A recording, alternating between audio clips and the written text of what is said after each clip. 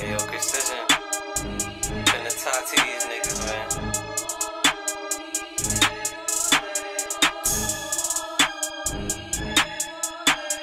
Don't worry about it, man. you want to hurt him.